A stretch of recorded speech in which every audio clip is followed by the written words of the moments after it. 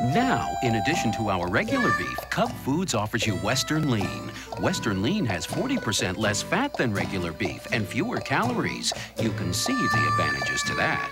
What's more, Western Lean comes from corn-fed cattle and it's aged 7 to 10 days for a moist, tender taste. Where will you find it? Western Lean, only at Cub Foods. And you thought we only offered low prices.